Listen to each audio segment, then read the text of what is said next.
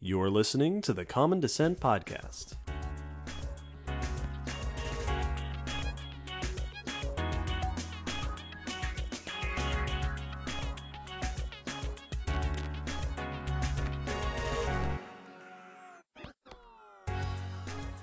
Hello, Will. Hello, David. Hello, listeners. Welcome to episode 60 of the Common Descent Podcast. Hey, we like reptiles here, A little bit. and we've talked about parts of pretty much all the major groups of reptiles. We talked plenty about snakes, crocs, some lizard talk. We've mentioned dinosaurs a whole bunch. We have not yet talked very much about on this podcast what are probably the weirdest reptiles maybe ever. Yeah, I mean they they have a pretty good claim to the title. Today's topic is turtles. We're back on reptiles. As with so many of our other episodes, this is going to be just an overview of the group. We're going to look at what turtles are like today. We are going to look at some of the most mysterious and confusing aspects of their evolution, which is to say, their evolution. All of it. And hopefully, we're going to make a lot of listeners very happy because this is one. I did. I've actually compared it, but de- one of the most requested topics on the podcast. People like turtles. This topic has been requested by uh, our patron Cheryl, as well as Jonathan Jaster, Timon, Matthew, Tut, Austin, Bella, and Don and Hans, who are two folks who have po- posited turtles as contenders. To Oh, when we do our polls, they're they, they these two these two folks Those upstarts. with their third party write-in candidate, which is not how the poll works. No, we we are in America. It is a two party system. Now, more on turtles in a bit. First, a couple of announcements. As always, we uh, give shout outs to patrons at our Patreon who subscribe at a certain level. The podcast is largely uh, supported by the donations we get on Patreon. This episode, we are welcoming Madeline or Madeline. I don't, it could be either one. It's spelled the way that Madeline from the book is, Oh, there. you go. I well, believe. Whichever right? way you say it, we welcome both of you. 12 little girls in two straight lines. All 12 of you. We're very happy to have you. Thank you very much. As usual, if you'd like to support the podcast in a more financial sense, check us out on Patreon. There's also a store now, which you can find the link to in the description for the episode. with uh, buttons and stickers as per uh, one of our listeners' requests who went to check on them. Oh, nice. Also, I noticed we have a bunch of new reviews, like iTunes reviews, some of which are really cool. So thanks to everybody who leaves us reviews. Those are very helpful. Thanks. But let's let's move on quickly uh, before we get to our main event to some news. Will, as you know, as our long-term listeners know, every episode we pick some news from the world of paleontology, evolution, and the like, and we talk about it here on the podcast. So go ahead and talk about it here on the podcast. Well, before we get into these allegedly, you know, other best reptiles, I would like to talk about crocodiles, just to remind everyone That they're the second best reptiles. that they are the winners of the annual polls uh, for best reptile. You know, Hashtag that- not my pulse. Da- David did indeed put together the polls. You're very true. I did. And sometimes we are all. Sometimes our creations disappoint us. This is a news article, a, a research about the death roll behavior in crocodilians. What's that? So the death roll, it's probably one of the most famous things that documentaries always like to zoom in, particularly on the Nile crocodile.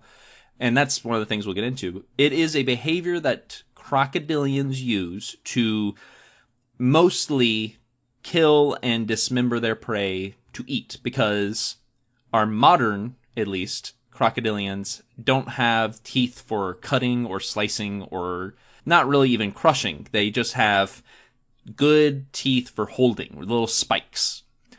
So when they take down something too big for them to swallow, there's no way for them to delicately or expertly take it apart. So the only option they have is to tear it apart. And there's other ways they can do it. A lot of them just shake their head. They just whip it Right, thrash around. until the part in their mouth stays in their mouth and the rest of it goes that way. but the other option, especially for animals, uh, for the crocodiles going after really big prey like wildebeest, they grab onto a hunk of the meat and then they spin their body. They rotate it by spinning their tail like a propeller and twist it off. It's awesome and terrifying.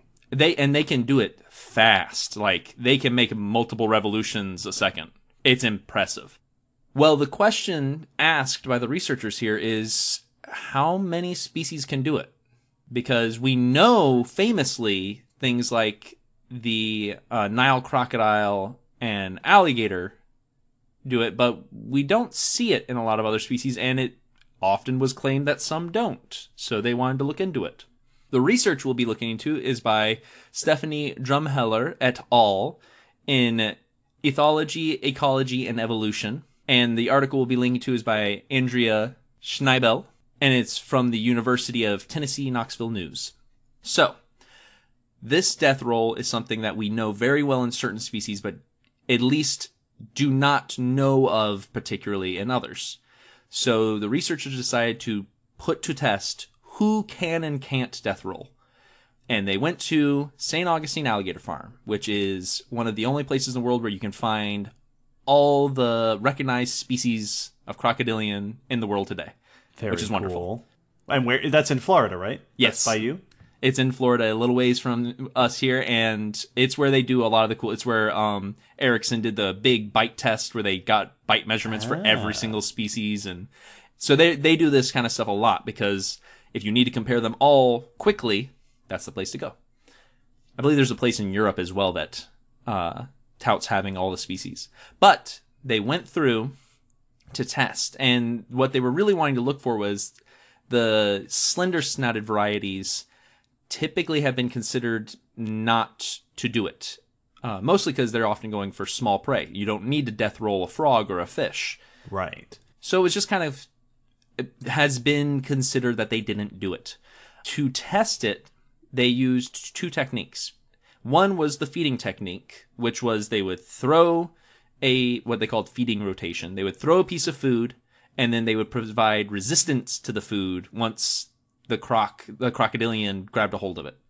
So something that they had to now twist against if they wanted to get a hold of the food. The other was the escape rotation, which is another way the death roll can be used is when they are grabbed, they can often spin to try to get out of the grapple or even whilst fighting they will use that death roll on other crocs. Uh, I've, I've seen many a video of them twisting limbs Oh yeah. off of competitors. uh, is not is not nice.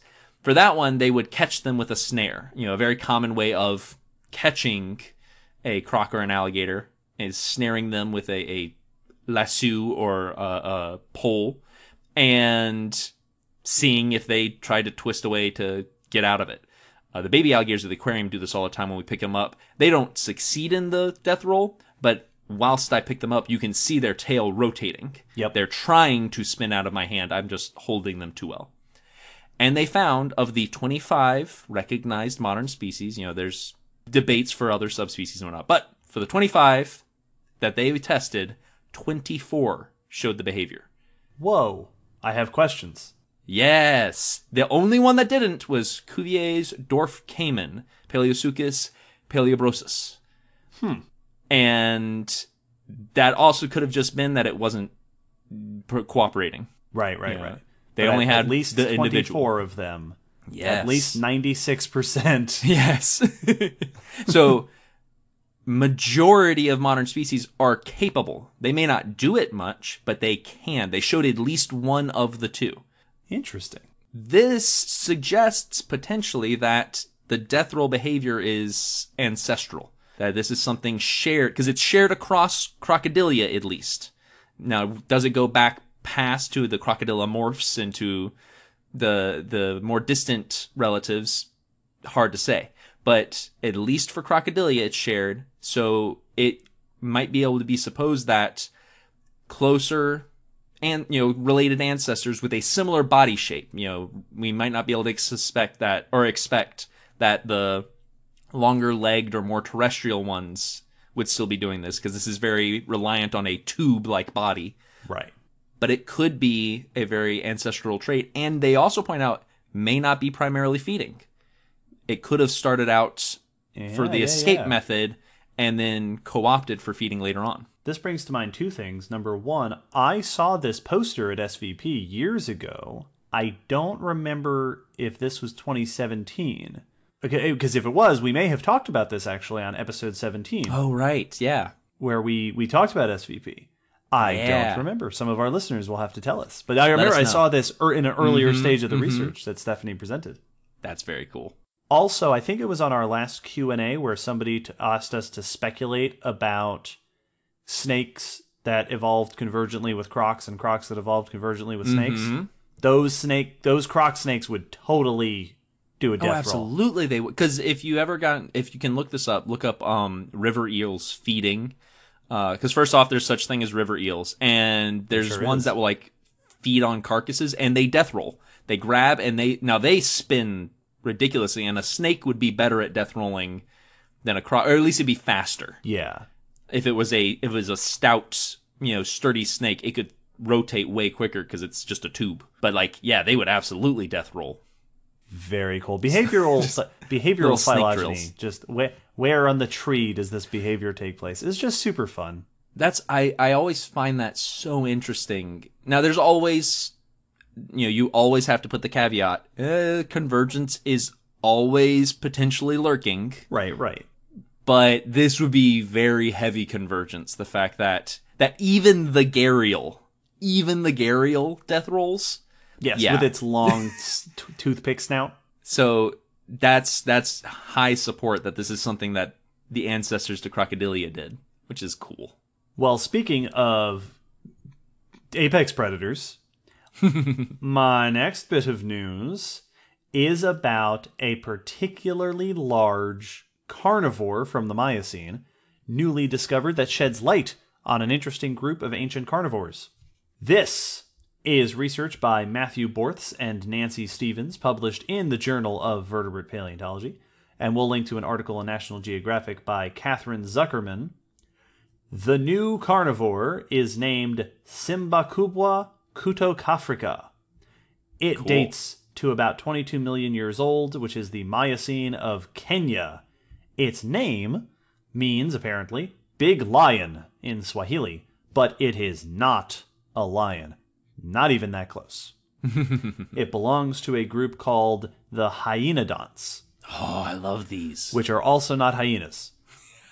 They're not actually carnivorans like you know most of our mammal carnivores, bears, lion, bears, cats, dogs, etc., belong to the order Carnivora. This is part of a separate group, traditionally, uh, I believe, classified as Creodonts.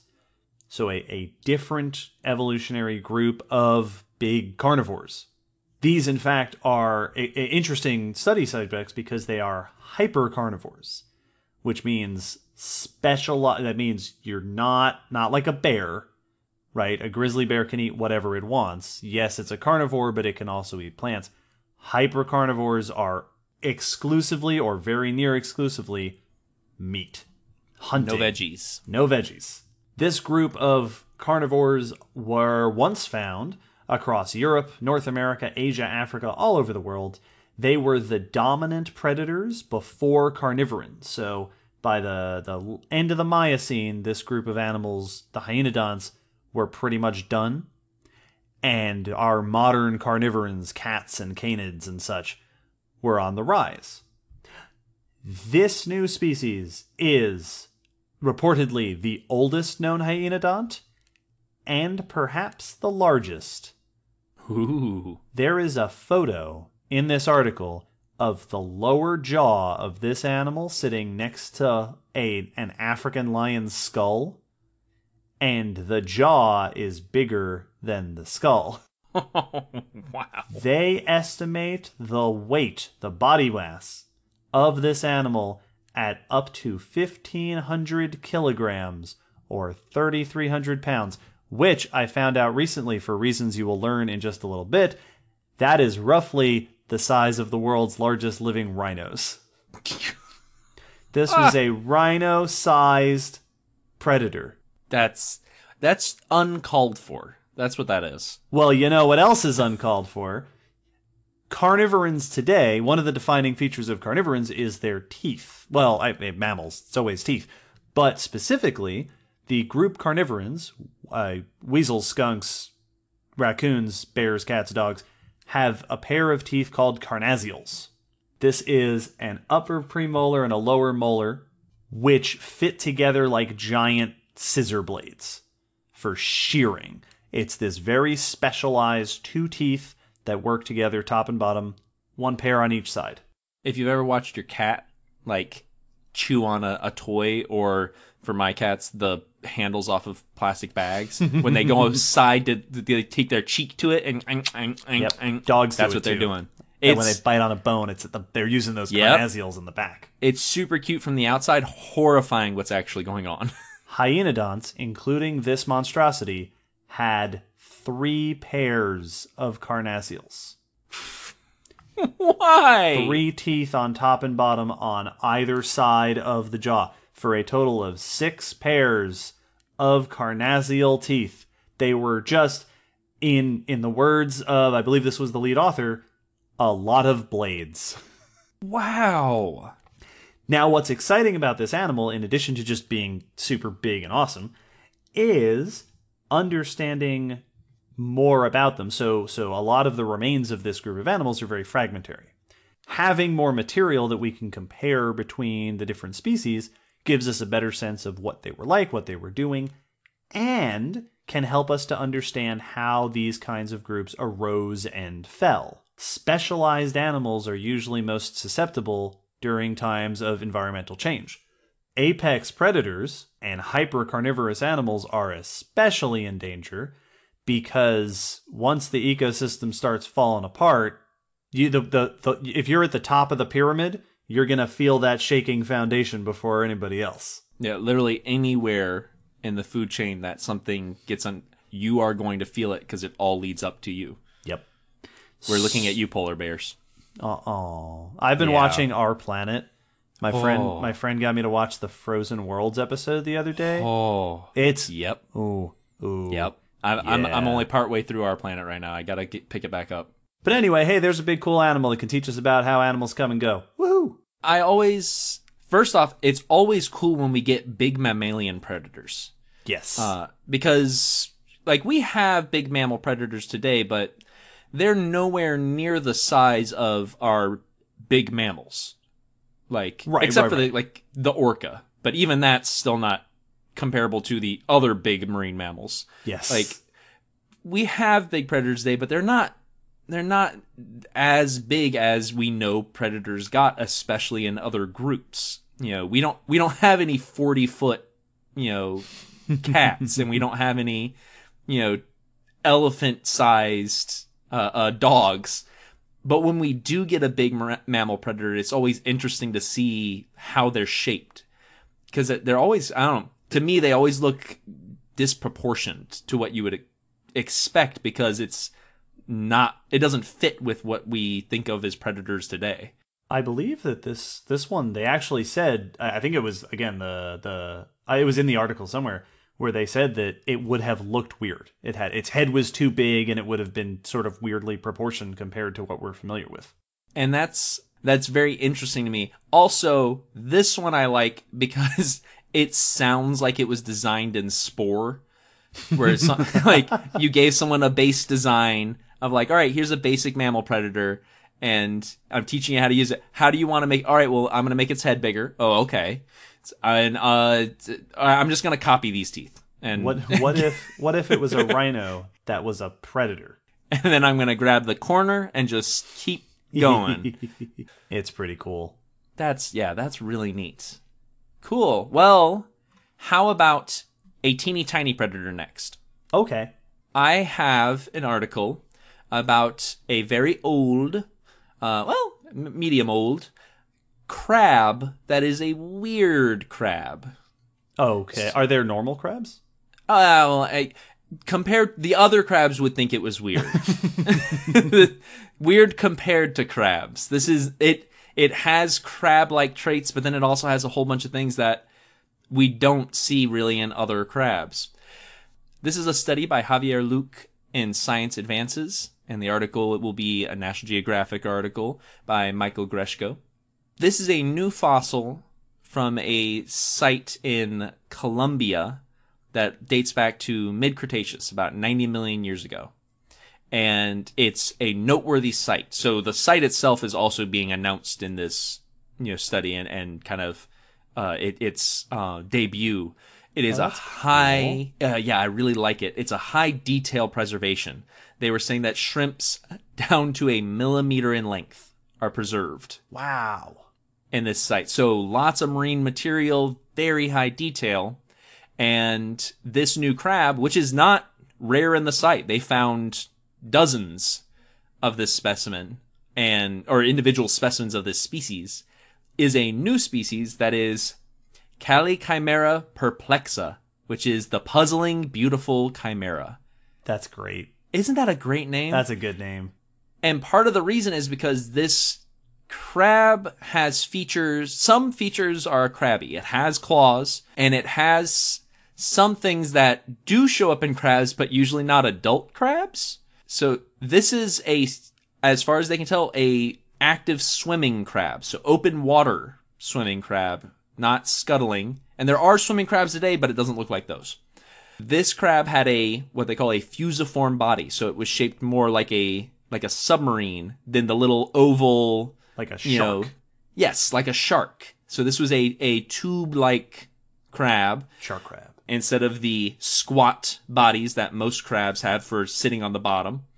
Large compound eyes, like big ping pong ball looking eyes on the front of the face, not on stalks, just sitting there on the face, which you see in larva crab, but not typically in the adults. Its tail is not tucked under the body, it is sticking out back, kind of like a shrimp where the tail's out instead of tucked under. It had mouth parts that were more reminiscent of legs, so not the little closed in mouth parts that crabs have. And then it had paddle like legs, which swimming crabs have today, but on a swimming crab today, their paddles are the back pair of legs. These were the front two pair of legs. I'm pretty sure you're just describing Anomalocaris. right? like it's this weird and it looks like it was an active predator. It looks like it had big good vision for those big eyes, claws and active swimming to hunt stuff in the open water. That is a weird crab. It's a weird crab. It also has a unique shell pattern among living and fossil crabs. So it's weird even among weird fossil things. This is something that there this is not like a origin to crabs. It's just showing that there was a vast variety of crabs in the fossil record that we're still discovering that crabs had a huge amount of variety and some of it was outside of anything we'd expect. They do want to look into some of the features because the trait with the eyes could hint at something we call pediomorphosis, which is uh, retention, re- uh, keeping your juvenile, your baby traits into adulthood. Right. So this, I, I believe we talked about that in episode 33 yes, indeed, I- on we Pogeny. did. So they're they're thinking that this crab might have taken its baby larva eyes into adulthood to use them for its new lifestyle. It also suggests that certain crabby features, like the large claws and the presence of swimming appendages, even though these are different limbs, are something that's been well defined within the crab group for at least 90 million years. So that that suggests that those are pretty strong traits or there's at least a a long background for them. The only other thing they kind of suggest about it is with the size of the eyes, it might have been nocturnal or at least hunting in dark areas. And and th- really from here it's just observing and trying to figure out more about this weirdo and just kind of announcing that crabs have had a lot of weirdness and some of it we're still finding. I like that this essentially is serving as a proof of concept of this new fossil site Yeah. where it's like, hey everyone, we didn't have time. Like last episode, we talked about that Cambrian site, that new site that had all these these cool things. This one's like, well, I didn't have time to identify 101 species. Here's one. Stay tuned. Yeah, here's the weirdest crab you ever saw. It's the um the pilot episode for this site. Yes. That's great. That's and very, if you'd like cool. to see more, here's the the box for my funding. Yeah, exactly. Yeah, here's my here's my GoFundMe page. yes, yes. Very neat. Well, I'm going to take it back to the land. I'm going to take us to a very familiar fossil site, the Gray Fossil Site. For Yeah, my I've heard of it. news. Our listeners have certainly heard of it, uh, unless this is the first time you're ever listening to our podcast, because we mention it all the dang time. Yeah, you're gonna hear about it now too. and now you're going to hear about it here. We've talked about the Gray Site quite a bit. For those of you who who are unfamiliar, it is a Miocene Pliocene boundary time uh, aged site, uh, about five million years old, right here where I am in East Tennessee. Famous for all sorts of cool, exciting new species like the red panda, the wolverine, a certain snake that is pretty dang cool. It's a pretty good snake. But notably, there have not yet been any large animals named as new species thus far, until now. A few of our friends have finally, after long last, published the rhino. Which is so, so cool. It's it's so cool.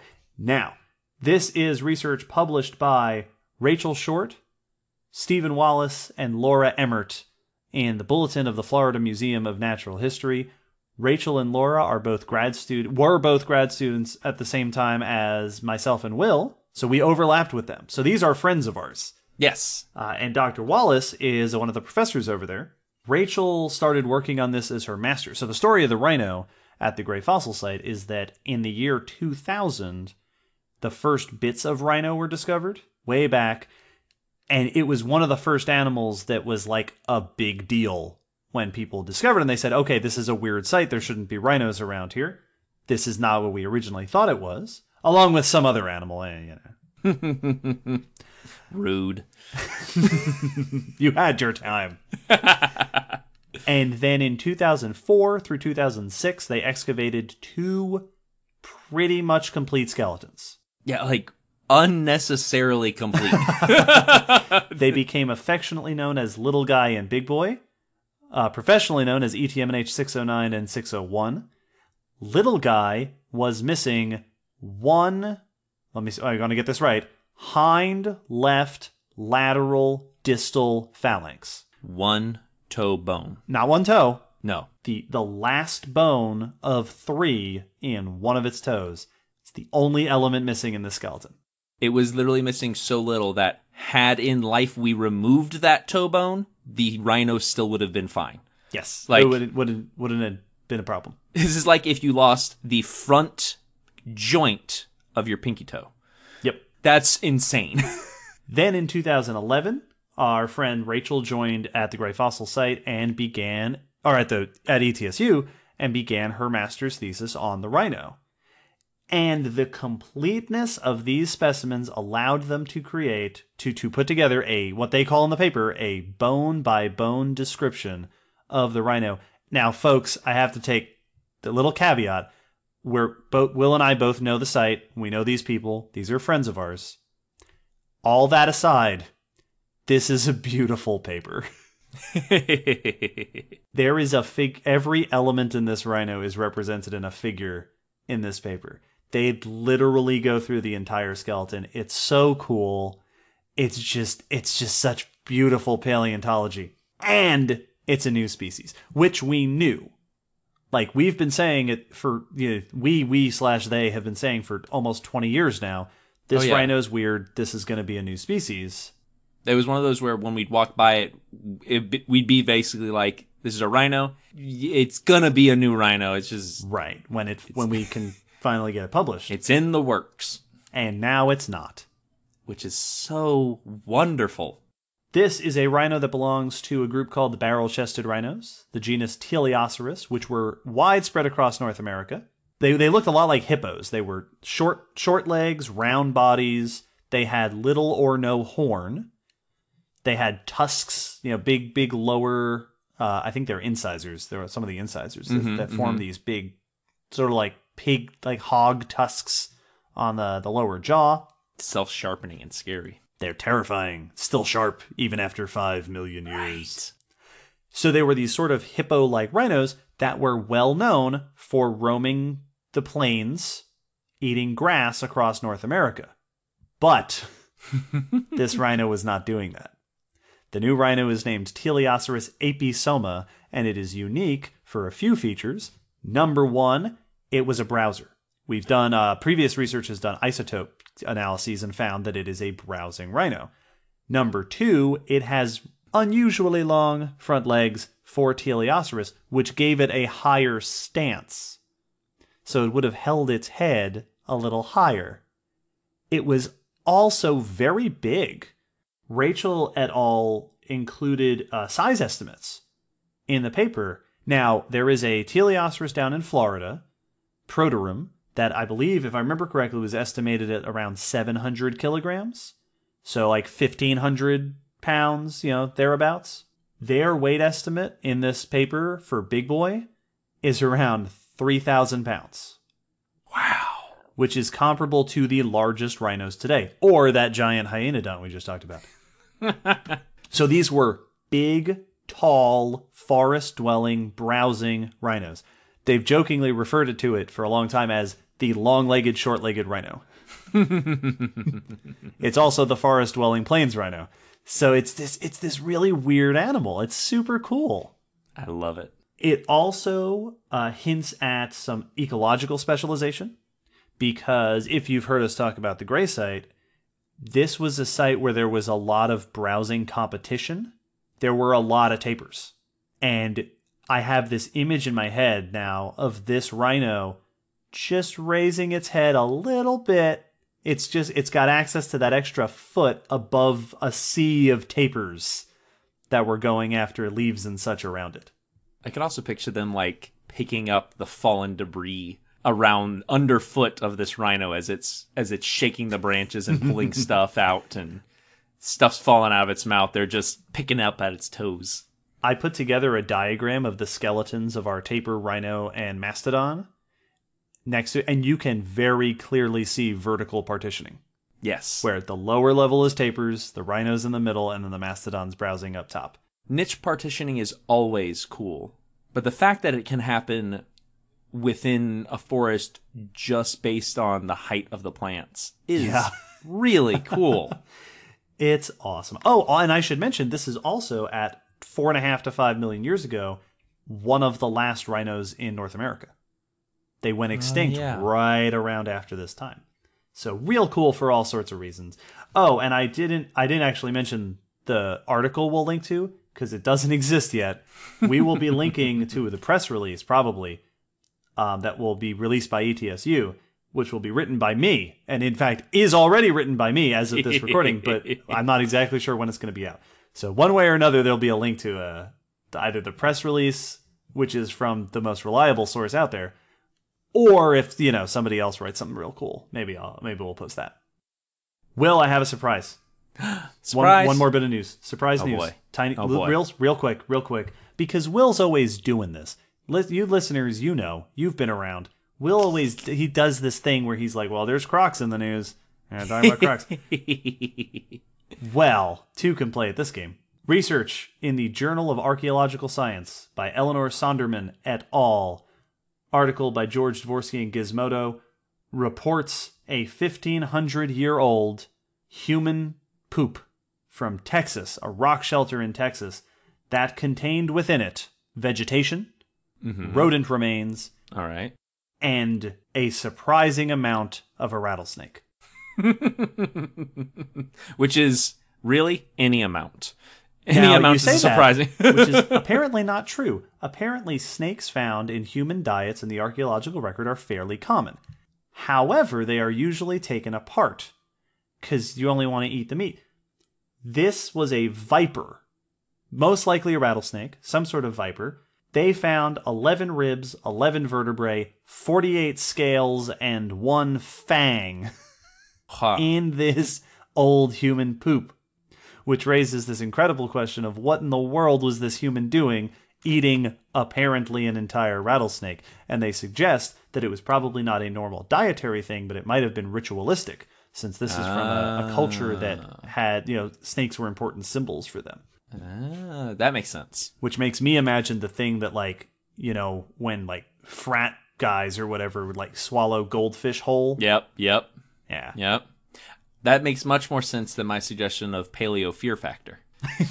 Well, I mean, what's really the difference? Yeah, right. That's. I mean, I, I mean, we're pretty. It's pretty similar. All right. To make the crops grow this season, you have to eat a rattlesnake. So there you go. Real quick, we'll throw that up on the the, the blog post along with the others. But that's enough about the best groups of reptiles. Let's talk about another one. Let's talk about the we. They're so weird. Will They're so weird. I'm very excited to talk about turtles.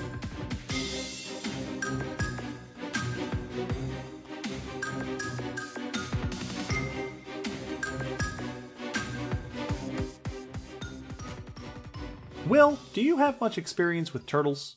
I, I have a decent amount. I will. I have not done research, but I hold them on almost a daily basis. What do you have at the aquarium?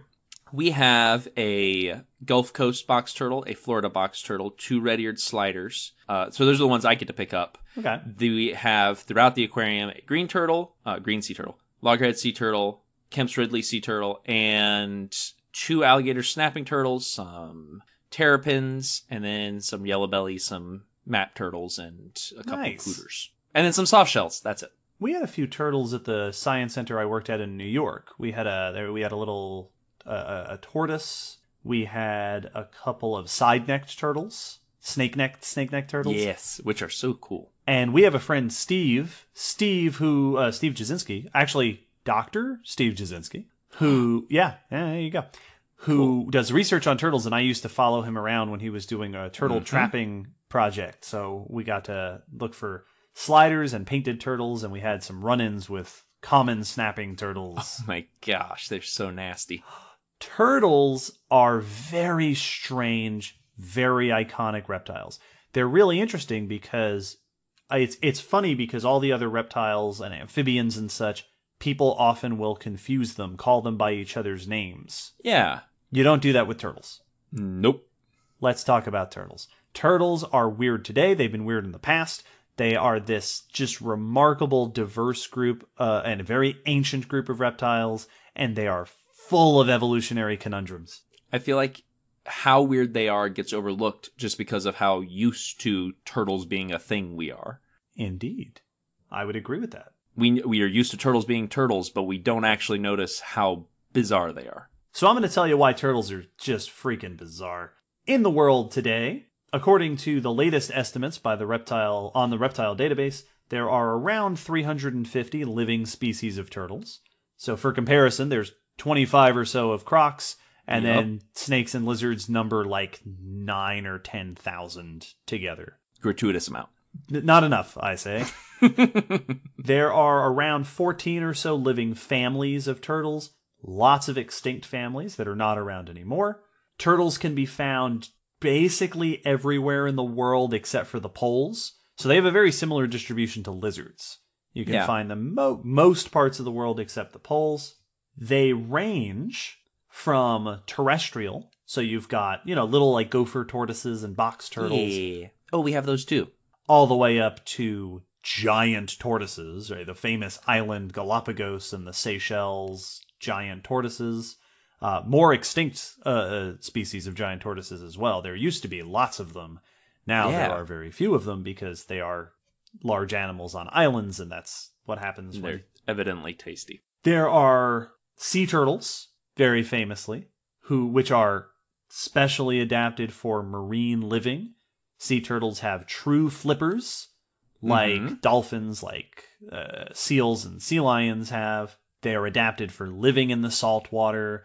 Uh, some of the largest animals, some of the largest turtles in the world today are sea turtles. In fact, the largest turtle, the the record for largest turtle today is the leatherback at about two meters long, six and a half feet or so, and weighing around a ton. They're massive. That's a huge. That's the size of a small car. Yep. That is a big turtle. On the other hand, the smallest turtle, incidentally, now I, I the one that I found listed, and I'm sure there are a few around this size. Yeah. Uh, but the one that I found listed was the speckled padloper tortoise, which is eight centimeters and five ounces. Ow. Just a little tiny. That's just a little like a like what is that's like a third of a pound little tortoise. so cute. There are also uh, lots of freshwater tur- turtles, which are probably the most familiar turtles to most people if you live in a place with turtles. Pond turtles, river turtles, things like that.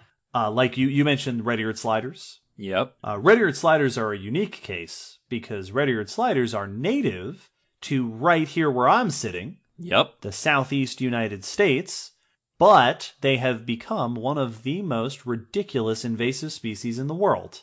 They are now found, they have been introduced all across the US, Mm-hmm. in Asia, Africa, all around Europe, South America, Australia, and even a bunch of islands like New Zealand. I pr- I don't I, as far as I know there are no land turtles native to New Zealand, but now they have red-eared sliders. Yep. There's even areas in Florida where they're considered invasive. Yep, Indonesia's got them, and we can. It, I've seen it suggested that we can blame the Ninja Turtles for that probably not wrong. because they're in the pet trade. Yep. They become, Yeah. uh, and at least one of the, the the original origin stories for the Ninja Turtles is that they were sliders. Yep. Absolutely. And they they ran into a similar issue as the uh, Burmese python in that people would buy what they thought would just be a little cute pet for a little while, not realizing that they were going to live a few decades. Yep. And then they went, nope, you go live outside. Well, and that they get big and smelly. Yes, like they buy them when they're like the size of a for what would be a half dollar here in the U.S. You know, just a couple inches across. Yeah. and you can get them as a little baby, and they're all adorable. And then they get to be the size of for a female, almost the size of like a, a what's a good what's a good fruit or vegetable? Uh, grapefruit. Uh, yeah, like like this. I don't know. I mean, they could get to be the size of a, a cantaloupe. There we go, Oh, that's a good one. cantaloupe, and then live into your retirement. Yes. so now you have a bigger animal than you planned on, and you're still taking care of it on your second dog, and you just want to be rid of it because you weren't planning on it. so people just let them go. Yeah, well, turtles live in ponds. There's a pond. Sploosh. Boop. And apparently, at least some of them do great. They are not picky eaters. So s- sliders are now super invasive. There are also more uh, adapted freshwater turtles. So so sliders, you'll see they have webbed toes. You know, they're Yeah. land turtle. You know, they're they're not. They're they they're, ada- they're they can do both. They can walk perfectly fine, but they're also great swimmers. There are also soft-shelled turtles, Mm-hmm. which are freshwater. So if you look at a slider or your typical pond turtle, a lot of them will they have hard shells, they're covered in scutes, they have webbed feet. Soft shell turtles have taken it a step further and they actually have leathery shells. Mm-hmm. So it's like the difference between a hard-boiled and a soft-boiled egg. Yeah, texture wise, even.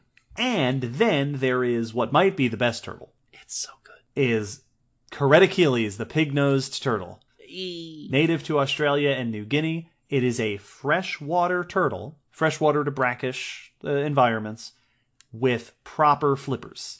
Yeah. The only freshwater turtle that, I, at least, unless there's some weird one out there I don't know about, the only freshwater turtle with true flippers on its uh, its its hands and feet. So great. Super cool, and they're adorable. They really are. We saw them. It was what was it? Columbia, Columbus. I think it was the Columbus yes, Zoo. Yes. So cool. Yeah, they're really neat. Turtles are split into two major groups today. Like I said, many, many families. Two major groupings that are separated by the way their neck fits into their shell. Yes. The rarer group are the pleurodires, which are the side-necked turtles. So if you if you've ever seen these sort of snaky neck, they have long necks and they bend side to side. Some of them are even called snake neck turtles. Yep.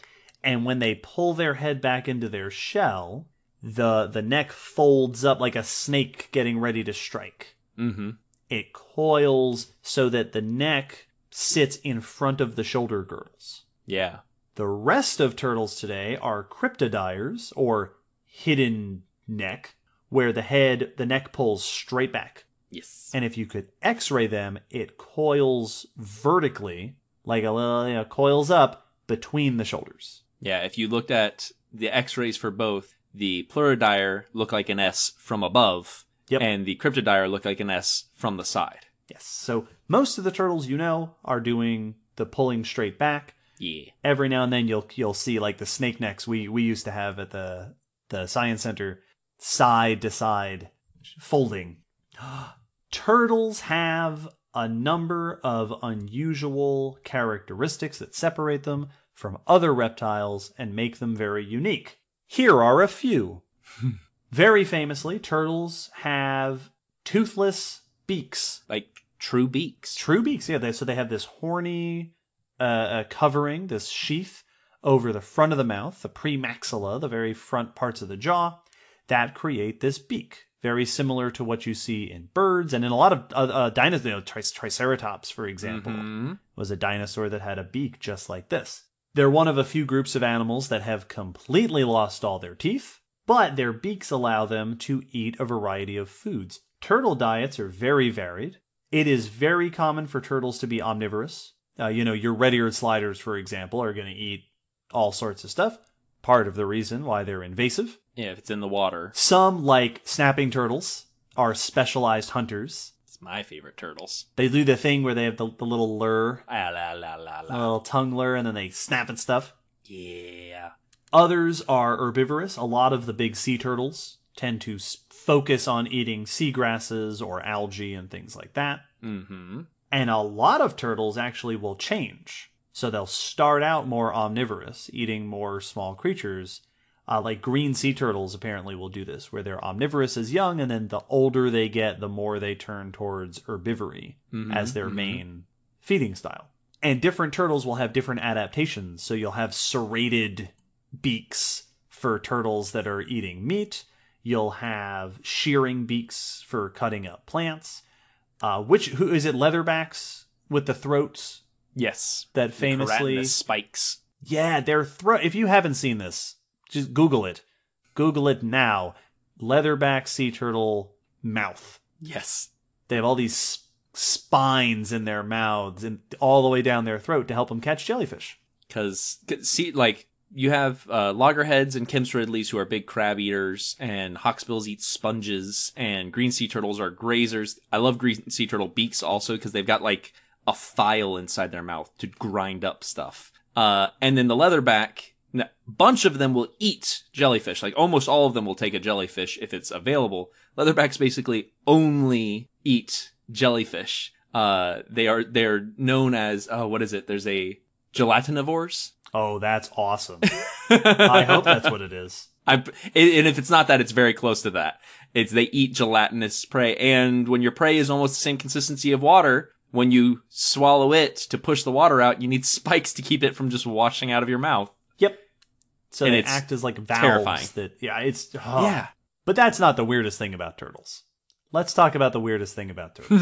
Evolutionarily, the weirdest, just the most ridiculous thing that that uh, turtles have done. One of the most ridiculous things any animal has ever done. Shells. The turtle shell is a bizarre feature. Now, if you now some of our, our listeners may have had the opportunity to do this. If you've ever gotten just a turtle shell, Yes. no turtle in it, just like an old, you know, rotted away. Vacated. There's all, all that's left is yeah, there's just crawled away. they can't do that. If you take, so the top of the shell is called the carapace, the bottom of the shell is called the plastron. They have a belly shell, they have a back shell. If you look closely at the carapace, you will see that it is made up of many different bones. So, like our skulls, right? This uh, the, the the human skull is many different bones that fuse together into a solid piece. If you get to examine the bones of a turtle's shell on, on the carapace, you'll notice a row of bones down the center that are called the neurals. You'll notice long bones that form the sides, sort of like long uh, uh, tiles or slats Yes. Like boards. like wood paneling, Yes. boards that form, you know, a, a parallel row of that f- goes down the side from the middle to the edge, called pleurals. And then there's a, a ring of additional bones around the edges, most of which are called peripherals. If you flip it over and look at the underside, you will notice that the neurals have vertebrae underneath them Backbones. that are fused to those bones of the shell. And if you take a close look at those board like ones, the pleurals, you will see that they are indeed ribs. Yes. A turtle's shell is mostly not extra bone. No. Some of them are. The, the ones around the edge, those peripheral bones, those are osteoderm like. Yeah. Like what uh like what crocs have. But the middle section of the turtle's shell is fused part of the vertebrae and the, the sides of the shell are its ribs. The ribs are expanded, they're lengthened, they're wide and flat, they fuse to each other to form a solid sheet. A turtle has taken its rib cage and put its whole body inside of it. It's fortified it. Its limb girdles, its pelvis, right? It, the pelvis is inside the rib cage and it can pull its head inside its rib cage. Why? What a weird thing to do. Well, and it stands out because there have been armored animals going back through history, but almost every other one that we've ever mentioned, as you said with crocodilians, has been osteoderms. Yes, skin bone, additional bones that grow in the skin. Armadillos, crocodilians, uh, sloths, Glyptodonts. glyptodonts, all have grown ankylosaurs. extra bones on their skin, covering their skin in their skin all over, but it's been calcium inside the skin separate from the skeleton. Yep. Turtles went, well, I already got calcium. we got bones. Yeah. It is so weird. The plastron, the belly shell, is also made of many different bones. There are several different bones that fuse together to make the plastron, largely thought to be derived from gastralia, Yeah. which are, so you see this in, in many reptiles, belly ribs. Sort of like the sternum. yeah. So we have a sternum, and then it, it, it if you imagine belly, you know, a, a, a sort of like a sternum that extends further along the, the belly. It's if you look at a X-ray of a lizard, it almost looks like they have a normal rib cage and then an upside down rib cage that meets up. Like Yes. It- Some dinosaurs have this as well. which is cool. I think we, I think it was a great oversight getting rid of our gastralia. Agreed. Turtle shells are also often covered in scutes. And what's really cool about this is that the pattern of scutes on the shell is not the same as the pattern of bones. Blew my mind the first time I learned that. So the pl- so for example, the pleural bones on the carapace are covered by costal scutes and they don't make the same pattern. It's like you took two different puzzles and laid them over each other and the pieces don't line up Yep. which means two things. One, it adds extra strength to the shell because you're double layered. And it means that if you look at the bones of a turtle shell, you can see Mm-hmm. the outlines of where the scutes sat over like the middle of the bones, Yeah, it leaves this little ridges. which is very cool. Other times, uh, shells are covered in leathery skin, like the soft shelled turtles, like a lot of sea turtles, leatherback uh, turtles. And in those cases, if you just look at the shell, sometimes the the the carapace and the plastron aren't fully ossified. Yeah. So if you look at a box turtle, that is a solid shell all the way around. But if you look at a soft shell turtle, you will see that the the bone the, the ribs are partially expanded and fused, Yeah. but then you can still see the ends of the ribs poking out the end of those bones. Which is interesting. It's that they're more quote unquote to the norm with those those turtles with reduced shells. Yeah. Uh, and then like uh, snapping turtles have these very reduced plastra. The plastron is like this little cross shape underneath them, and it gives them all sorts of mo- mo- uh, motion in the limbs. Because when you're a snapping turtle, you're not hiding from anyone. no, you don't need protection. No. Sometimes carapaces are domed. Imagine your tortoise. Uh, other times they are flat. Like if the, they are like the pancake tortoises, which have these very flat uh, shells. Looks like someone stepped on them.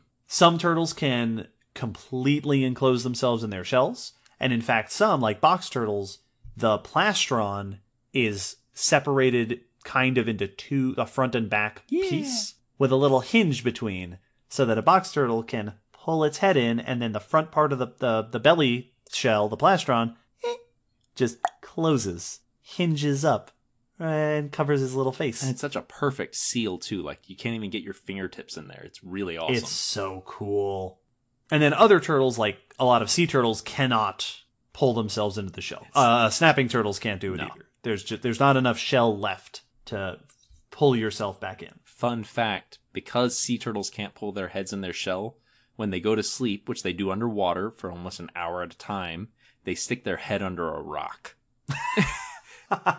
That's awesome. They find a hole in the reef and they shove it in there, which means if you go to a turtle hospital where you don't want a bunch of complicated stuff where injured turtles can get stuck, it's just an empty habitat. They put PVC pipes in there for them to stick their heads in when they go to sleep. That's adorable, It's- so- and I love it. It's this big, like, four foot long, know, hundred pound turtle sound asleep in the middle of a pool with its head in a tube.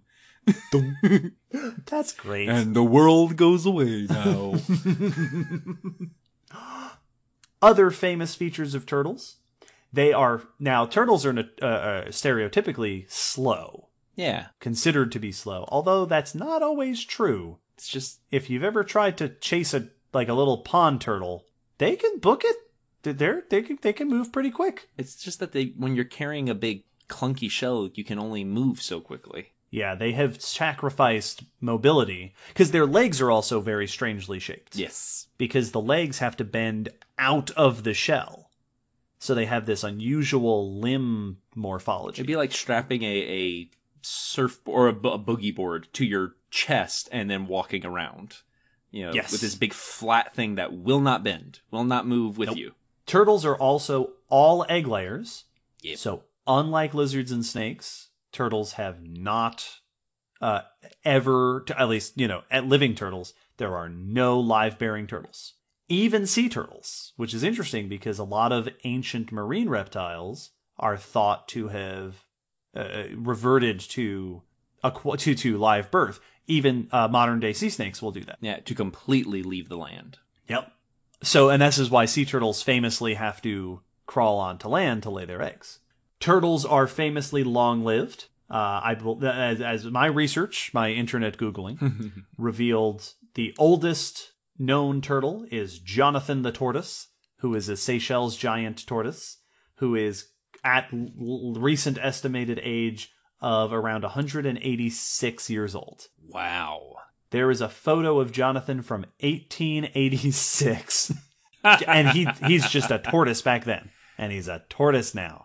He hasn't aged a day. I love it. And there are stories of other turtles, uh, uh, of recently deceased turtles that have gotten similarly aged or older. But yeah, like pushing 200 is not at all unheard of for a tortoise. Even small species like the little box turtles can reach 80s. Like yeah. and and they're, they're no bigger than a, a a hefty apple. Like Yeah. so it's a little it's weird. forever. There has been all sorts of interesting research into how turtles have accomplished this, which I'm not going to talk about at all because I don't have time for it. it's too much. One of the weirdest things that turtles have had to deal with with their shell, so the shell impedes mobility, it also gets in the way of breathing. Yeah. It's a risk because most animals, most vertebrate animals, we breathe. You have to, in order to breathe, right? When we breathe, we we do it by decreasing the air, the pressure in our body cavity, which draws air into the lungs, Creates a vacuum. and then we exhale by contracting and pushing it back out. For most vertebrate animals, the muscles that do that are attached to the ribs. Yes. Some reptiles actually expand their ribs when they do that. Lizards uh, do that. Lizard, if you feel a lizard breathing, you will feel the often feel the ribs moving in and out. You can feel it a little bit with yourself, Yes. Right? The the our diaphragm muscles are attached to the ribs. I have kids do that when I'm explaining this part about turtles. Yep. Well, turtles are kind of using their ribs for stuff. Occupied. Turtle ri- turtles do not have the muscles between their ribs anymore. They've lost them evolutionarily, and the ribs are fused into this rigid bowl. So instead, they're breathing using a muscle that surrounds their organs and pushes against the lungs or pulls everything away from the lungs. Mm-hmm. So they have a whole different muscular setup to allow them to breathe that moves their organs up and down. Evolutionarily, it's inferred that what happened was as the ribs took on more of this support, this this sort of strong rigid structure, those rib muscles were no longer needed to support the trunk. Yeah. And so they gradually became repurposed to moving the lungs in a, a completely different fashion. That's one of the common questions kids will ask when I'm holding one of the turtles because if you look at their throat, it's just constantly going, just moving up and down a little bit as they're moving air because their chest can't do that. Yep. Cannot expand the chest. Also, we should mention real quick that there are, in fact, turtles that breathe through their butts. Yay! There are turtles that live in ponds that will hibernate under the pond during the cold times of the year. Some, like snappers and painted turtles, can last down there for more than three months. Right? They just sit down in the bottom for three months. Nestle in the mud. They have all sorts of adaptations for doing this, but one of them is that they have a highly vascularized cloaca, which means lots of blood vessels flowing through the skin, which allows the, them to passively absorb oxygen. This is called cloacal respiration, or, if you don't feel like being sciency, butt breathing, Butt breathing. I call it a reverse fart. which is also very fitting. So turtles are super weird. They do all sorts of crazy stuff that is not seen in other animals. And because they're weird, like we talked about last episode with bats, like we've talked about with snakes, like we've talked about with a lot of unusual animals, the weirder you are evolutionarily, the harder it is to compare you to other groups of life. And turtles are one of the most famous cases of unknown affinity. Yes. Where do turtles fit on the reptile family tree is a question that continues to plague us to this day. Now, the reptile family tree is still to this day split into two major groups. You've got your lepidosaurs and relatives, which is your lizards, snakes, tuataras, and then a bunch of extinct relatives. Mm-hmm. And you've got your archosaurs, The good ones. which are your crocs, dinosaurs, pterosaurs, birds, and all their extinct relatives. And then there were a bunch of more basal groups, uh, a lot of early, very ancient reptiles. Turtles have bounced all around this tree throughout decades and decades of study. The classic identification of turtles was based on the morphology of their skulls. So, some terminology. Most vertebrates, amniotes, right? Reptiles, mammals, birds, have holes in the back of the skull behind the eyes that are called temporal fenestrae. Fenestra means hole. Fenestra means hole. In, for example, lizards and dinosaurs, there are two. One toward the top, one one lower down, two temporal fenestra on either side, two pairs of temporal fenestrae. Those animals are called diapsids, two holes. Yes. And this is how a lot of animals were, were defined for a while. Mammals are synapsids because they only have one of the holes. There is a term euryapsids for reptiles, ancient reptiles that had only the other one of the holes. Which I love. Turtles are anapsids. No fenestra, no no temporal fenestrae. They are completely closed off. They are just a solid Smooth. wall back there. This is also seen in some ancient, you know, we talked in episode 45, the Permian extinction, about some of these cool Triassic reptiles, pareiasaurs and captorhinids, which are also anapsids.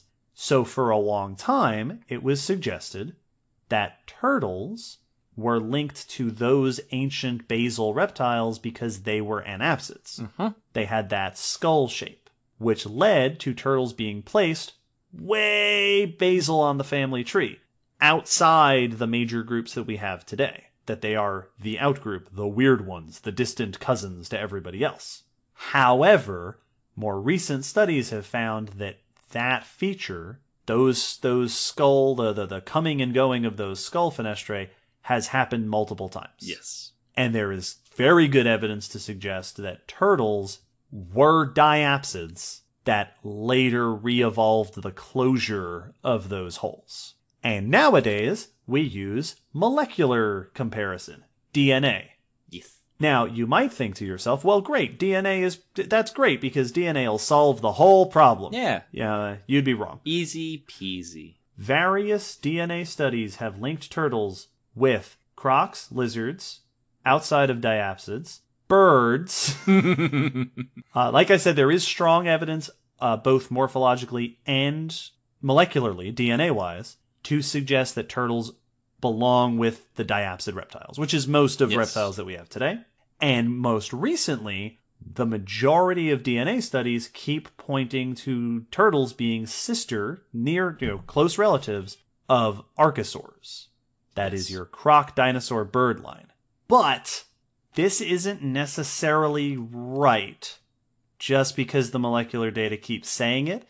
Some scientists are still skeptical because, number one, that's not something we see very clearly with skeletal information, a link to archosaurs. And there's possible errors in DNA studies. I think it's easy to, to think, oh, DNA, that'll solve everything. But your DNA data is very limited, only to living species Mm-hmm. which means you're missing a ton of evolutionary information.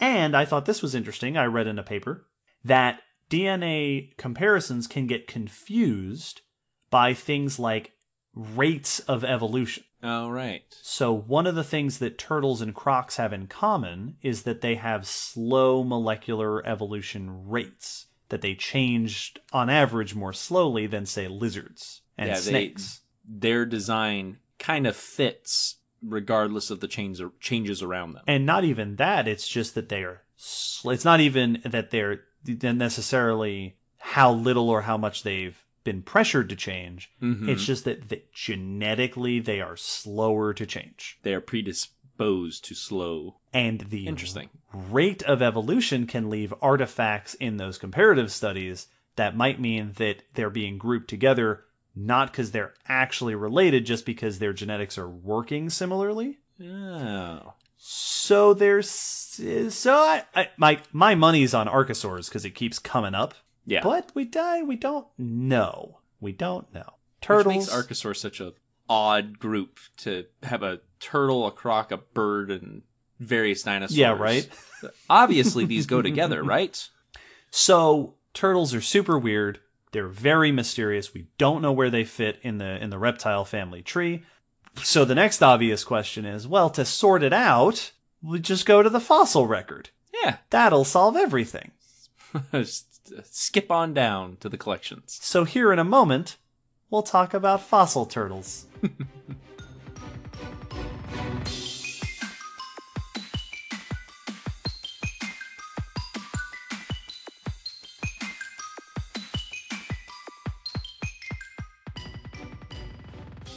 Last episode, we talked about bats.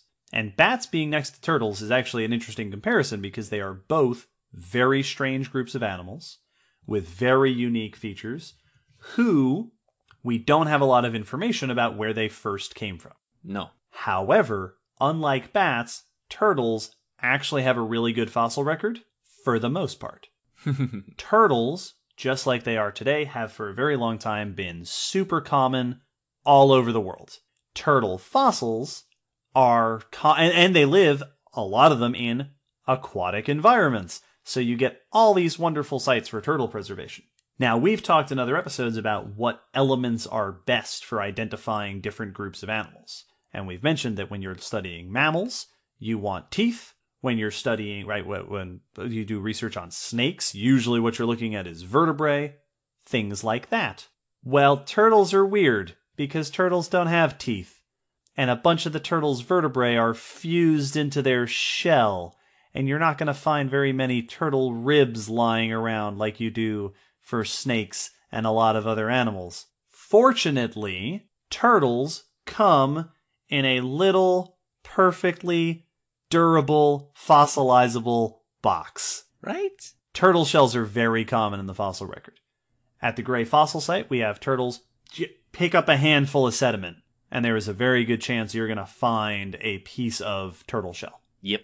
What's really cool is that they disarticulate in a lot of cases. So we mentioned that the shell is made of all those different bones, like puzzle pieces. You will find individual bones from the shell. You'll pick it up. You go, oh, this is one of those peripheral bones off of a turtle shell. This is one of the the the pleurals, the costa, the rib bones off of a turtle shell. And sometimes you can see the lines where the scutes sat on top of that bone. So they're really cool, pretty little fossils to find. Very much like you said earlier, finding a single puzzle piece. But Yes. if you already had the box of that puzzle, so you immediately know which piece it is. Yeah, turtle piece. It's really cool.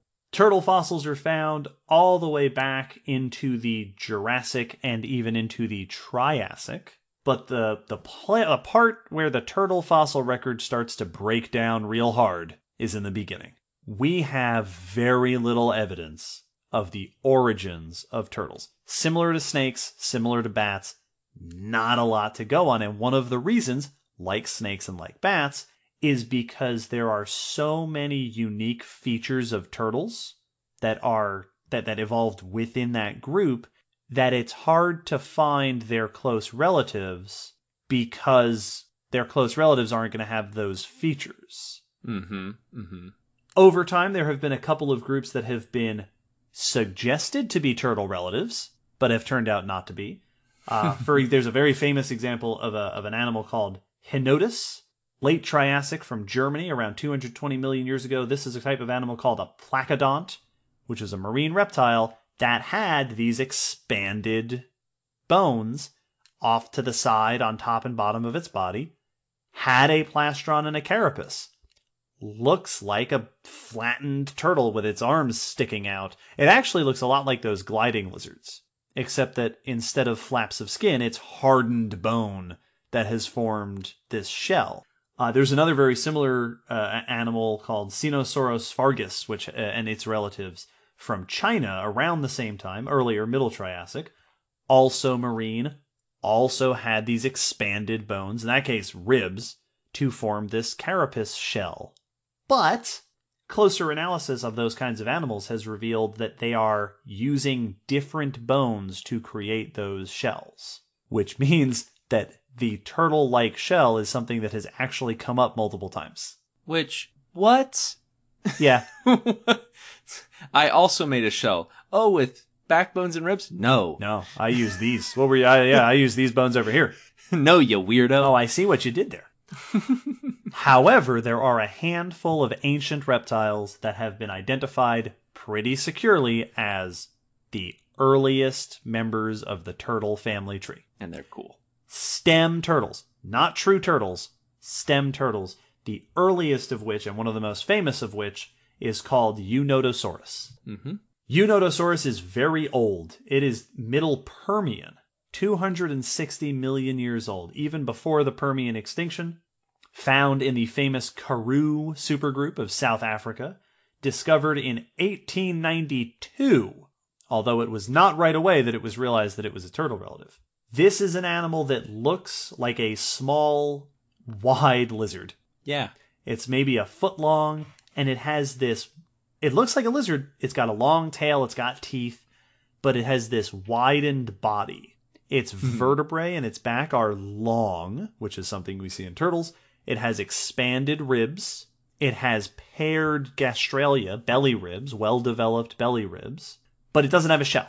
It just has expanded bones in the body. So it has this wide look to it. I, I imagine like um, if you've ever seen the uh, the Phrynosoma lizards. Yes. That, yes. That the horned lizards out west here in the U.S. that'll flatten themselves against the ground, uh, spread their ribs out. It lo- looks like a lizard that um swallowed a frisbee. Yes, that is absolutely what Eunotosaurus looks like. Uh, yeah, they're super interesting. But Eunotosaurus also has a similar skull to turtles. Many of the features are similar, and it's it has those fenestrae, those holes in the back, but they're smaller. Ooh. They are on their way, it seems, to disappearing.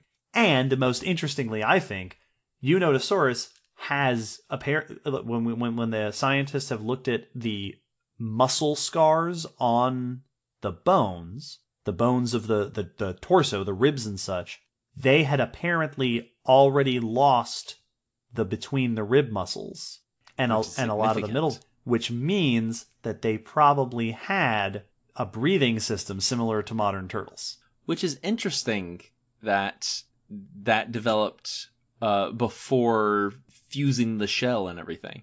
Sure is. Huh. It's it but what's interesting when you start looking at this is that and like with most animal groups the characteristic features of this group did not just pop into place all at once they showed up piece by piece I'm and I'm always interested what order they showed up That's to me one of the most interesting aspects of weird groups like this because it's almost never the order. If you were asked to lay it out, it's usually not the order you expect. Well, and also, as we'll see here in a second, it's not a straight line. It doesn't go this feature, this feature, that feature. It goes this feature, then this group did that feature, and this group did this feature, and then this group did that feature again. It's like AI learning. And you get this, what, what's called mosaic evolution.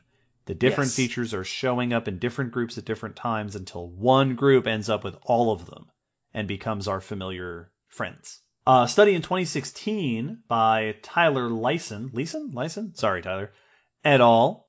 looked at Eunotosaurus also to try to infer why the shell began to develop in the first place. As we mentioned before, the ribs, that broadened rib structure, gets in the way of locomotion and it gets in the way of breathing.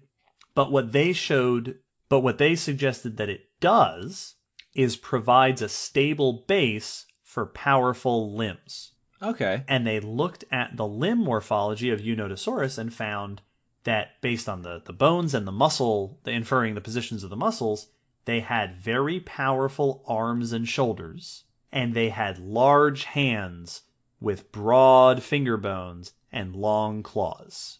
Oh. Now, until I said long claws, you might have been thinking swimming, because that's all, yeah, powerful arms for swimming.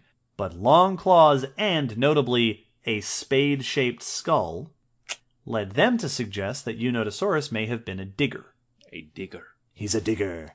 A fossorial animal, and so they were wondering, based on this, if that might not be why the shell got its start. That the, the torso became reinforced to support those powerful arm muscles for digging. Interesting. It would also provide protection, right? You're you're now widening your body, s- fill up your little burrow. Yeah, you're becoming a little, you know, digger bot. You're a little tough capsule for digging. There are some similar features in other stem turtles as well.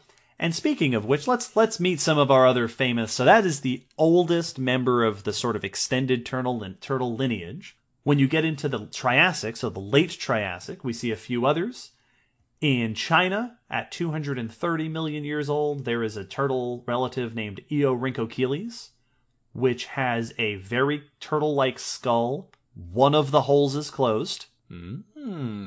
It also is the oldest turtle relative known to have a toothless beak. Yeah. So it had teeth, but the front of the mouth had made that beak and had lost its teeth. But still, Eorhynchochelys does not have a shell. Wide flat ribs, no true shell. Once again, so weird. The most iconic feature of a turtle is taking longer than you'd expect to show up. Well, it gets weirder. Uh, the prob- possibly the most famous, one of the most famous early turtles, Odontochelys, yep. also from Guizhou, from China, a little later, 220 million years ago, also about a foot long, still has a long tail, still has teeth, has a fully developed plastron. Yep. The belly part of the shell is fully developed. The carapace is not. The carapace had is partially there, fully developed belly, partial carapace, which is very strange. yeah.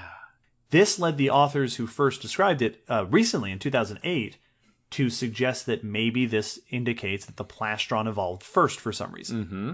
And then there's all sorts of ideas around that, although other researchers have pointed out that a partial carapace is kind of what we see in a lot of soft shelled turtles today. Mm-hmm. And Odontochelys is found in marine sediment, so it could be that Odontochelys has secondarily reduced the carapace Yes. similar to some marine turtles today and, fr- and and other aquatic turtles today. I've always found it interesting the discussions as to why having a robust plastron and reduced carapace would be useful. Because I've seen a number of, of points brought up, and one of them is the the slider turtle concept of it was used to toboggan down uh, shores and slopes into the water, Right, avoiding predators. Because that's what slider turtles use it for. Whenever you walk by a pond, you hear bloom, bloom. They go It's a shoop. bunch of turtles just sliding on their bellies back into the water. But the one I liked was that it was to, uh, while they swam at the surface, guard from attack from below. I like that idea. That too. one's really interesting. A little bit earlier than that, there's one called Pappochelys from Germany, described just recently in 2015. Rather similar to Odontochelys, no plastron, but it had big paired gastralia, had small upper and lower fenestrae. So I said that one out of order, but if you put that where it belonged in this list, it would be it's that we're we might be seeing the gradual loss of those holes in the skull, the sort of patchwork development of the shell, and then at the toward the end of the Cretaceous, Proganochelys, it very famously it, long, known for a very long time since the late 1800s, a larger animal about a meter long, three feet, from late Triassic Germany, has a shell. Yes. This is one of the oldest known animals with a true turtle like shell. It's got costals and the peripherals, the neurals, and it, all the pieces of the carapace are there. It's got all the familiar pieces of the plastron. It has a beak like mouth. It's lost most of its teeth, although it still has teeth on the roof of the mouth, which is common in reptiles. Terrifying, but common in reptiles. It is thought to be a close relative of true turtles. Not quite a true turtle. The teeth are, are one of the features that separates it. It also had its neck and tail were covered in spikes, and it had a tail club. right? A tail, a turtle with a tail club. Why'd we ever get rid of that? It's it's it's just so cool. The oldest true turtles come from the latest Triassic into the Jurassic, depending on where you want to thing. Modern turtles, the, the the earliest sort of turtles as we know them today, are around by the early middle Jurassic. Proper turtles have shown up, and then our familiar families begin to show up in the Cretaceous. Yes. Many of our familiar families. Mm-hmm. So we have this transitional sequence of turtle-like forms, somewhat like we have for snakes, somewhat like we have for for some other groups of animals, but none of those fossil relatives is a definite link to any particular other group of fossil reptiles. Yeah. None of them screams like, "Oh, early archosaur, early lizard relative." They're kind of doing their own weird things. We haven't yet found what would what we would, you know, somewhat erroneously call the missing link. Yeah. Haven't quite found that. And so the origins of turtles still kind of mysterious. We have this wonderful sequence of the parts of the shell coming together, the skull coming together, but it, the, even these fossils don't quite help us get where on this tree do turtles fit. Yeah, it's it's it's frustrating because we we are now more and more increasing our understanding and refining of how turtles came to be the turtles we know today. You know, like we finally have a better understanding of how shells formed and when traits came in, but we still don't know where the first turtle cousins came from. So it's it's we have almost the whole map except for where it begins. Right. We have a fully formed piece. We just don't know where it attaches on the rest of the tree. Which is and it's it's not even like we've narrowed it down that much. It's like, well, these could be like next to crocs or lizards or birds or maybe none of them. Going back to our, our puzzle analogy that we've been throwing around, it's like when you're you're building a jigsaw puzzle and there's a big patch of like blue sky and you get like just randomly a whole bunch of those blue pieces to actually connect, but now you just have a floating chunk of blue sky. Yes. You're like, does it attach? Yes. Nope, doesn't attach to that blue piece. Does it attach to this? nope, not to that blue piece either. Maybe if I turn it upside down, I don't know, it's all blue. No. Now there has been some discussion also about where ecologically turtles came from. Mm-hmm. So a common suggestion is that turtles uh, originated in the water. Yeah. This is very attractive because Odontochelys, that famous uh, uh, late Triassic turtle cousin, is found in in marine sediments. Uh, some other, uh, you know, turtles are very commonly today and in the fossil record found in aquatic sediments, lakes and such. And then the placodonts, those other turtle-like reptiles, evolved similar body shapes, and they were often aquatic animals. On the other hand, some researchers have pointed out that a lot of the earliest turtle relatives, the earliest turtle like creatures, are t- much more terrestrial looking. Yes. That they tend to have short hands, they tend to have osteoderms, which are not common in, in like marine, you know, uh, heavily aquatic organisms. Some of them, like Proganochelys, have tail clubs, which are not a useful feature in the water. no. Early turtles are often found in terrestrial sediments and or with terrestrial fauna. So even if it's found in, you know, marine sediment like near shore, it can be found with land-dwelling animals that are maybe getting washed into here. So there's some back and forth over where do we think that they actually got their start. It it reminds me heavily of the the snake conversation. Yes, there's a lot of similarities mm-hmm. here. Because we've pitched fossoriality, like with Eunotosaurus. We've pitched water origins, Yep. like with Odontochelys. It's very reminiscent of snakes. it's it's it's kind of our go-to. We're not sure where they started. Uh, water underground. Hmm? It's- Yeah, oh, it's weird. Those are the two weird places to be. Have you tried those two? Have you tried those Were two? they were they flying? Are they pterosaurs? Are you sure? Okay. I'm sure if we had pterosaur DNA, turtles, some analysis would bring turtles out next to pterosaurs. Absolutely. But once the Triassic came to a close, we move into the Jurassic. Turtles, true turtles, were in place, and they wasted little time in going everywhere in the world. They very quickly, uh, uh, the modern groups are made, you know, pleurodires and cryptodires, the, the, the, the one differentiated by their necks, are, took over, spread around the world. A bunch of major extinct groups that lived alongside our familiar true turtles also spread all around northern and southern continents. Both true turtles and stem turtles are found all over the world, from the Cretaceous down to modern. Turtles have been a staple, like snakes, Yes. like crocs. Cretaceous onwards, maybe even a little earlier, you're going to see very familiar looking groups.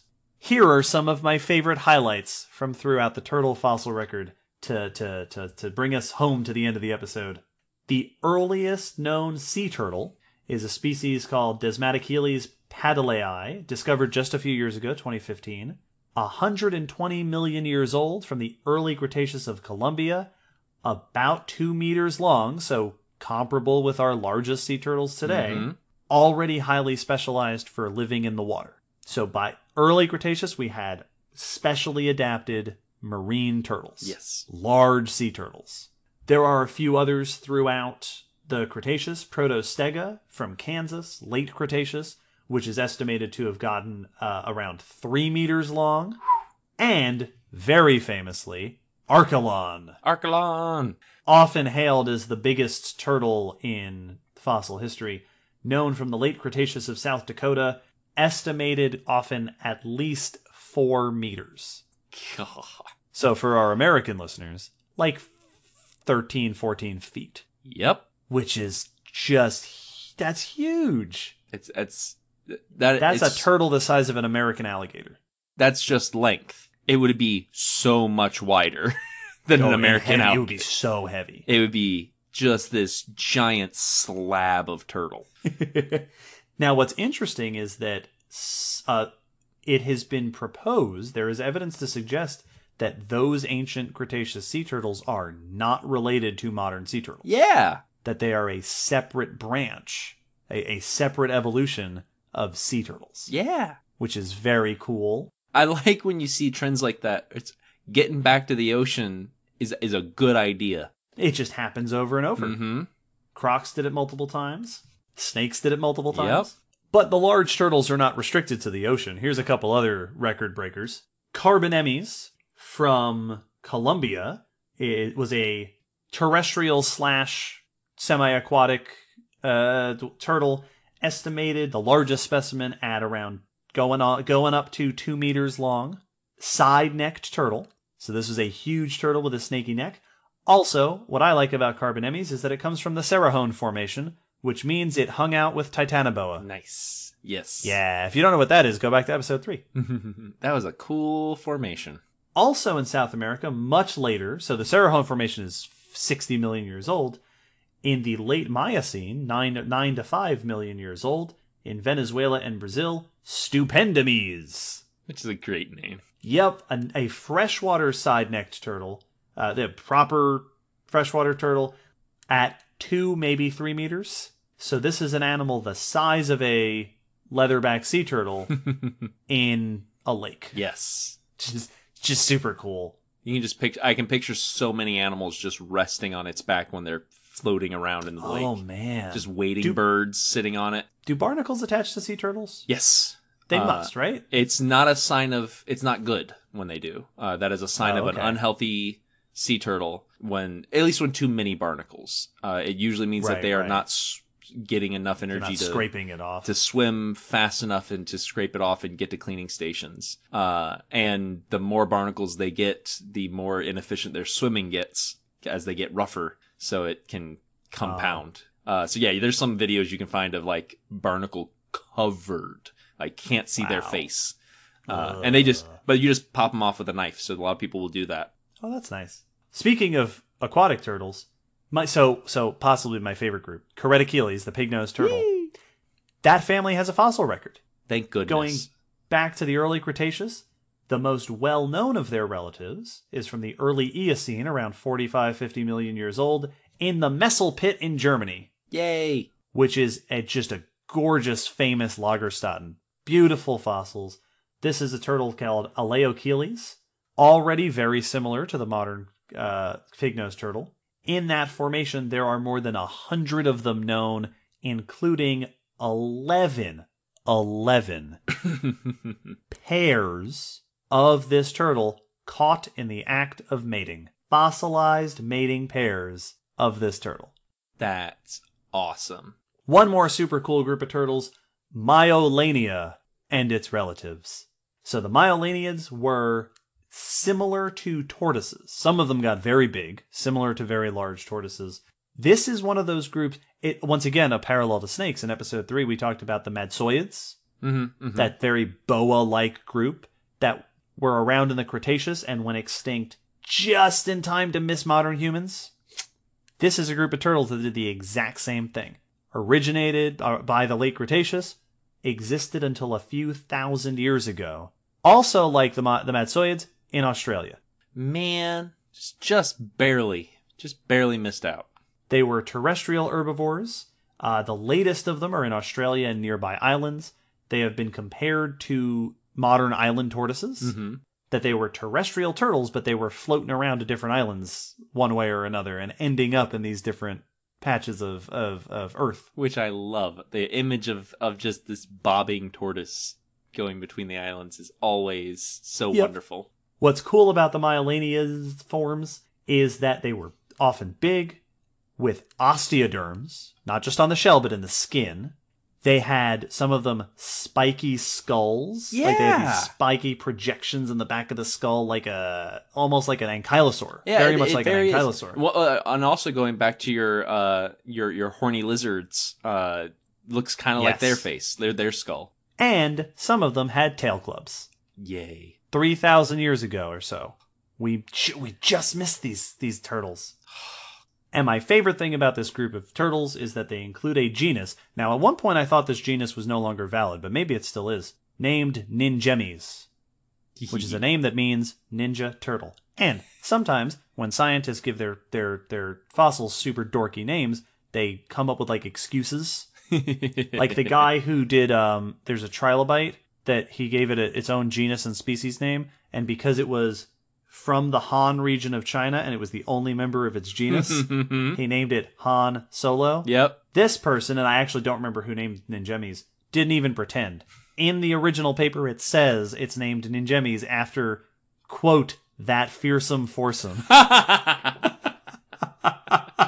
Which is awesome Yay! and one last note about fossil turtles. I can't, we cannot end the episode without me mentioning that there are, so far as of this recording, two unique species of fossil turtle from the Gray Fossil Site. yeah. One of them, uh, Sternotherus paleodoratus, uh, published very recently, just last year, I believe, uh, in part by our professor, Dr. Blaine Schubert. Well done. The holotype of that specimen, the original specimen, is nicknamed Old Stinky because it's a musk, it's an ancient musk turtle. And the other one is Trachemys haugrudi, Trachemys is the same genus as the red-eared slider, so an ancient relative of the red-eared slider, right here at the Gray Fossil Site, described by our friend Steve, who we mentioned earlier, and named after our buddy Sean, Yes. Whom you heard in episode 13 when we visited the, the prep lab, and who you will probably hear again someday. Absolutely. He's got a turtle named after him. And I happen to know from talking with Steve that there should be some more new descriptions on the way in the not too distant future. Excellent. Yes. Well, that's all the time that I have to devote to turtles today. Whirlwind tour of turtles as usual. There's so much more to to discuss for fossils for modern turtles are so weird and cool. There are a lot of really exciting fossils out there we haven't discussed here, but hopefully, those of you who didn't know much about turtles have a new appreciation. Hopefully, those of you who are dying to hear us talk about turtles are now sated, at least for the time being. And hopefully, now we won't have to listen to those I was about to say those listeners I- complaining about how we don't give attention to turtles. I hope everyone enjoyed this tour of the third best reptile group. well, I mean, there's dinosaurs. Oh, modern cool. modern reptile group. pterosaurs, Modern reptile group. modern. yeah. Well, tuataras are really cool though. Oh yeah. It's they've got that exclusivity, you know. So Yeah, they do. yeah, it's uh, turtles are a little run of the mill. You know what? It's I hope you enjoyed turtles. I hope you enjoyed this. I want to give a special shout out actually to Steve. So Steve Jasinski, our turtle studying friend, who provided me with a whole folder of papers He is a uh, for handy background turtle research guide. here. That's the first. Per- as soon as we decided to do this episode, I was like, Steve, send me a bunch of turtle papers. Oh, I, I sent him pictures of a turtle shell literally just about a week ago from my friend who was trying to identify one at her her new job. I was just like, I got a guy. One more thing before we wrap up. We have a patron question to answer.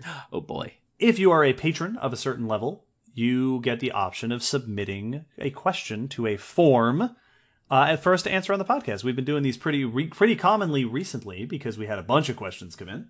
This one is a is a semantics question. I like it from Sam, who asks: Do paleontologists or scientists of other disciplines refer to other groups the same way they refer to non-avian dinosaurs? do people say non-dinosaurian archosaurs or non-tetrapod fish?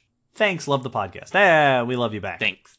Uh, the answer is yeah, Yeah. depending on what the context is. Yeah. It, it's So- definitely situation by situation. The reason that non-avian dinosaurs has become so popular is mostly as an acknowledgement that turtles are di- uh, sorry.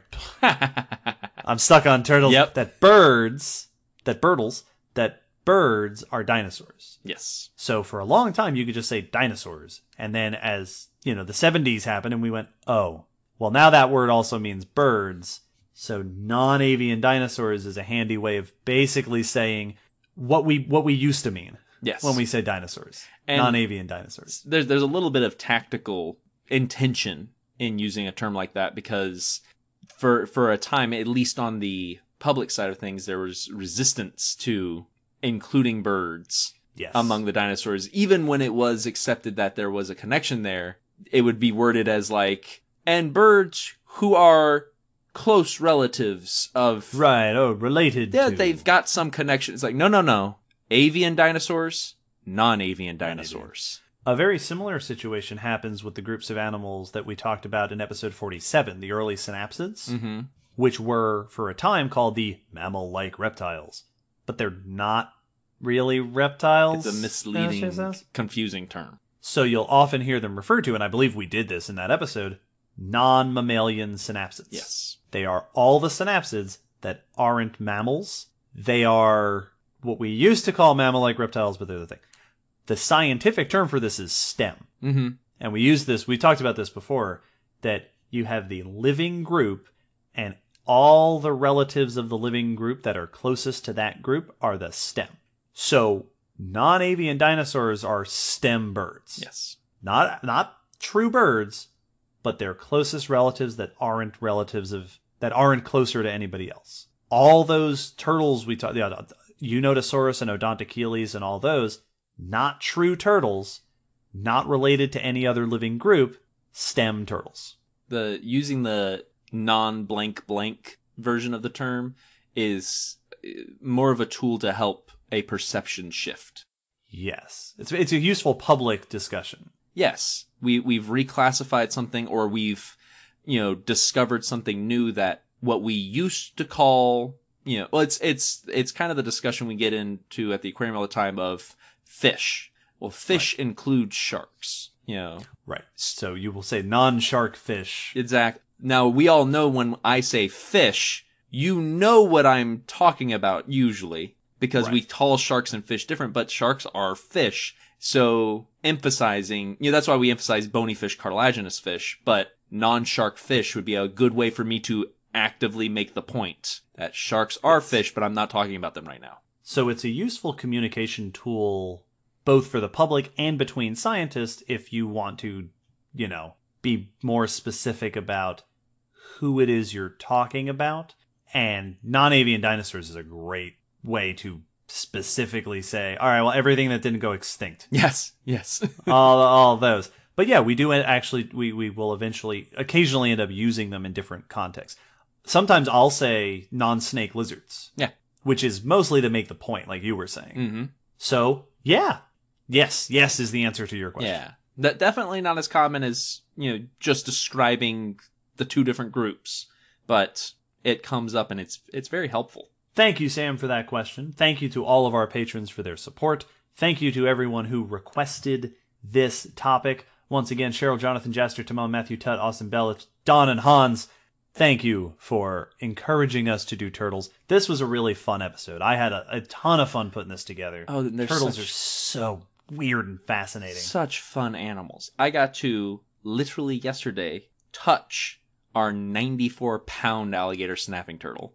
I got to pet his shell. His name is Pepperjack. Wow. and he it felt like I was touching a rock just like it was just so craggy and Well, they're covered in spikes, and they're like, if any turtle is is a Koopa, yes like that's the Bowser turtle. oh they're fantastic I am certain, given how many people were excited to tell us to, to have us talk about turtles, that we have left out things that they would have wanted us to mention.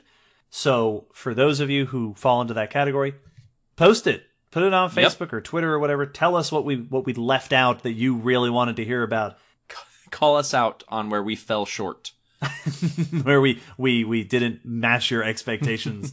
Because as always I w- again you could do an entire episode entire podcast about turtles and i'm sure some nerds will do it someday. Absolutely the the debate what should and shouldn't be a tortoise and a turtle and whether those terms are useful is oh i didn't even mention that. I I was tempted to bring it up, but every time I thought of it, I was like, that's that's too long of a topic to just sneak in.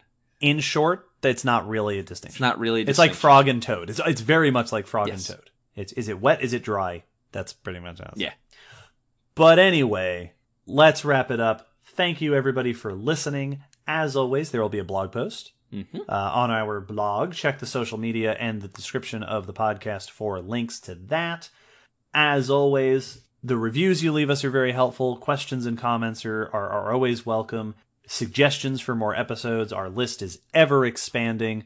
Some of our uh, topics get lots and lots of requests, like this one did. We release new episodes every fortnight, so keep an eye out later in the month for another episode about something else, something else cool. Yeah. And that's all, that's it. That's all I have to say. Thanks. So, with that, thanks for joining us in uh, the Turtle Club. For anyone who watched Master of Disguise, turtles don't have clubs anymore. That that's a real that's a real shame that we lo- that they lost them. right?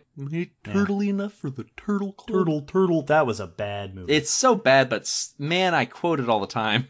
Good night, everybody.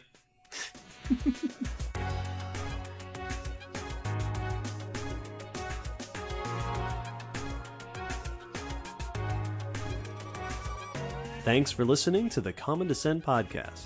You can follow us on Facebook, Twitter, YouTube, and check our WordPress blog for pictures and links after each episode.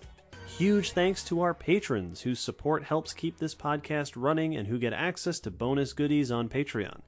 The song you're hearing is called On the Origin of Species by Protodome, which we found at ocremix.org. Thanks again for listening. We hope you'll join us next time.